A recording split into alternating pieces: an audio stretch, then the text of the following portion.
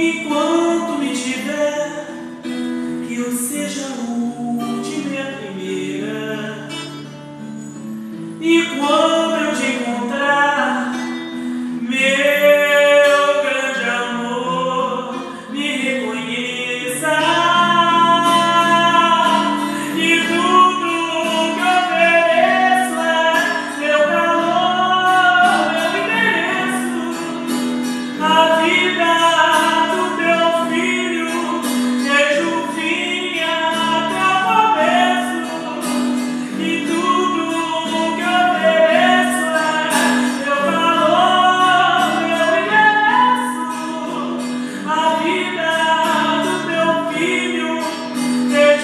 me.